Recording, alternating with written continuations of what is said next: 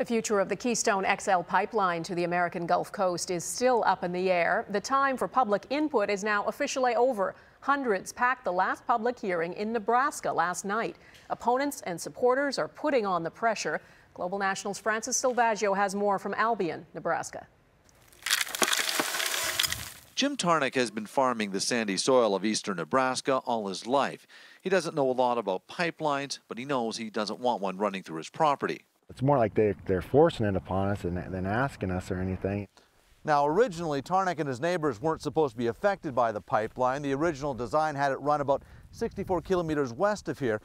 Problem was, it was running right through the sensitive Nebraska sandhills. So TransCanada was asked to reroute about 330 kilometers of the pipeline, but environmentalists say it's still not good enough. The biggest concern is to our water supply. You know, it's not just traditional crude oil. We're talking about tar sands. Oh, let them spill. Let them spill. I, I just think of all those beautiful things that kill.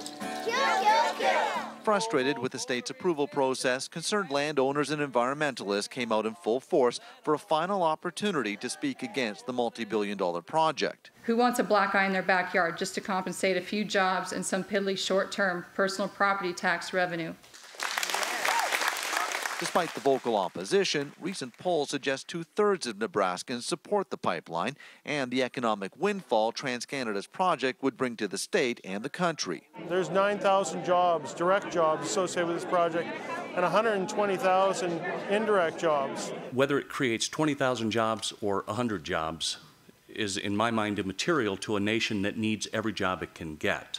Nebraska's Department of Environmental Quality has already issued a draft report indicating TransCanada's reroute has met all of the state's conditions. And despite Tuesday's emotionally charged hearing, officials don't expect much to change. We think our, our report addresses most of the concerns that have been raised. Um, you know, not everybody's going to agree with our analysis. The report should be finalized by the end of the month. Then the governor will have 30 days to make his final decision. For opponents, their minds are already made up even if they force it and go through, it, I'll never be supporting it. I, it's just something I don't, I, I, I just don't want. And the question ultimately is whether the President of the United States wants it, a decision he'll likely make in early 2013.